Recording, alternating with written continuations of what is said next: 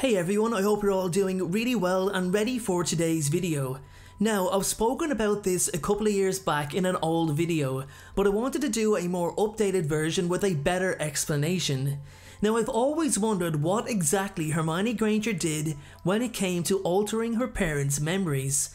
There's been so many different versions and opinions given on the situation, and the movie didn't exactly make things easier by going way off canon.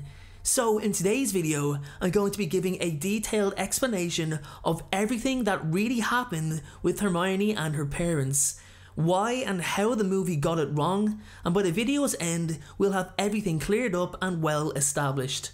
Also, if you'd like to ask me any questions, you can do so by contacting me through Instagram. With that being said, if this is the topic for you, then please keep watching, stick around, and most importantly, enjoy.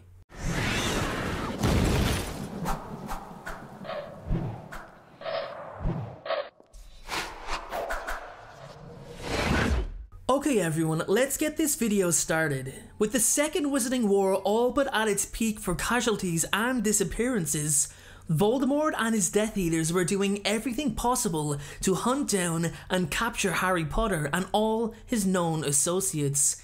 When I say everything possible, I mean it. There's no lengths that the Dark Lord would not go to in order to get his hands on Harry Potter, and that includes his family.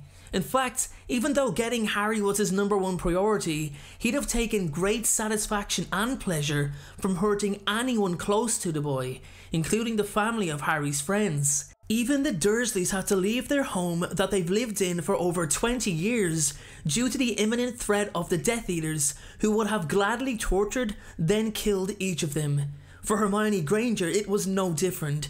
She was known to be a close associate and friend of Harry's, most likely from Draco Malfoy's information, meaning she and anyone close to her were now at risk, including her muggle parents, who would both be highly desired targets due to their blood status and the fact that their deaths would devastate Hermione and possibly fracture her friendship with Harry.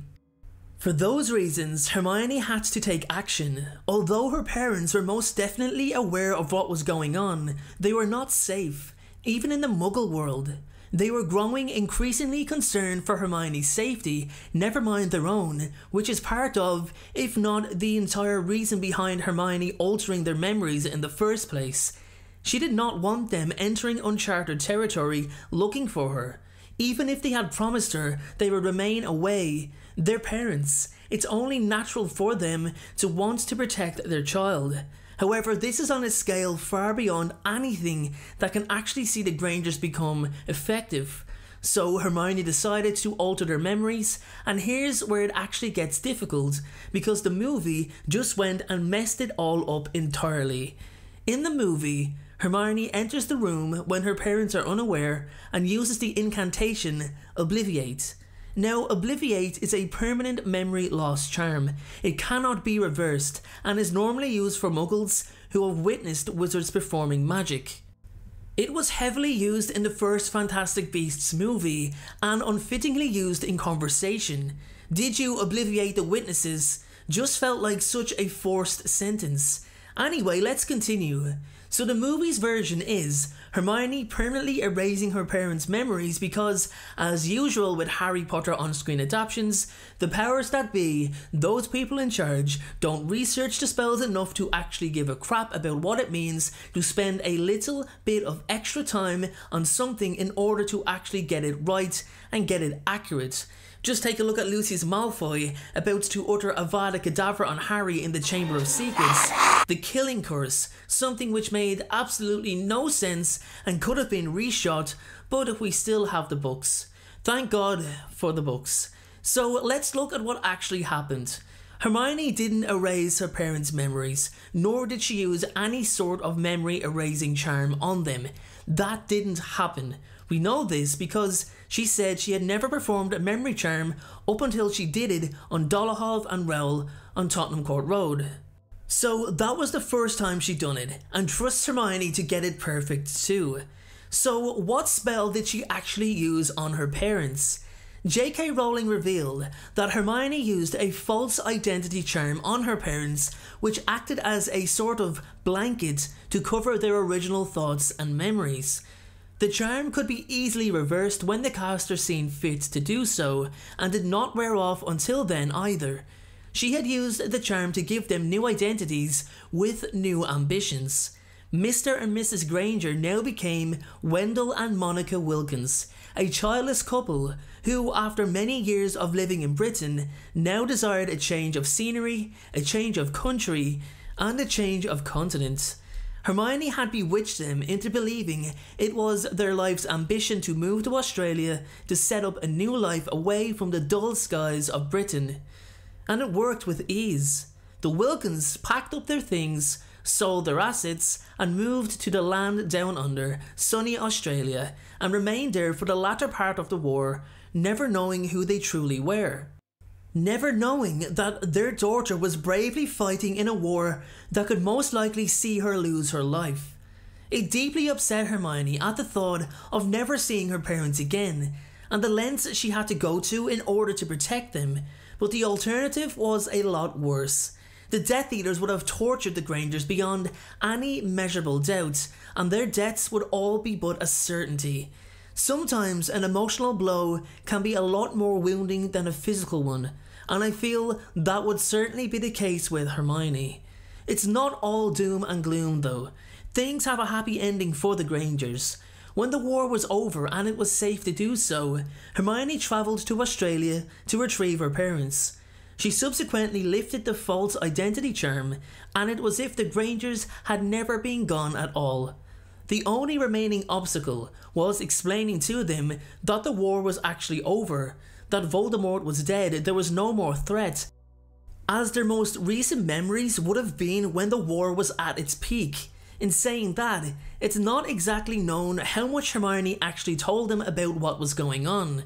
Knowing her, she'd have most likely played it down. Now, it may have been some adjustment for her parents to settle back into their lives in Great Britain. They'd been in Australia for so long, and even though the false identity charm was removed, they still would have had some memories or even flashbacks of their time in Australia, which Hermione would then have to explain.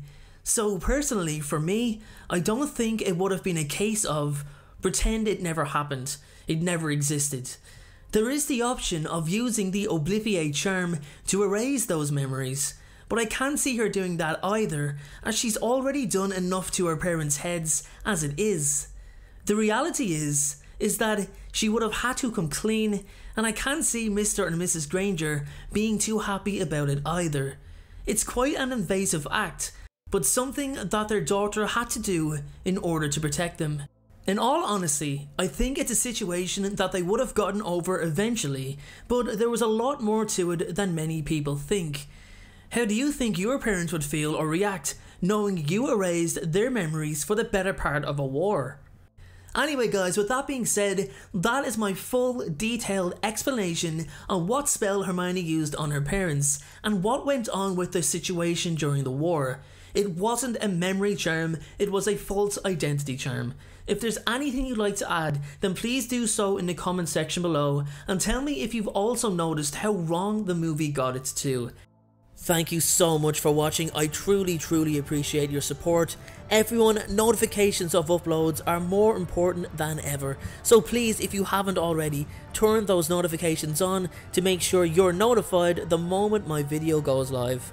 Making videos is what I love to do, it's my dream and my passion, however it does cost time and money to produce this content, so if you have a dollar to spare to support me on Patreon in exchange for some exclusive unseen content, then you can click the Patreon link below or at the end of this video. Please only support me if you can afford it. And make sure to follow me on Instagram at InstaDeanJ and on Twitter at PotterFolklore Check out my other videos appearing on screen and please make sure, most importantly, to hit that subscribe button. Thanks again everyone and please have a great day.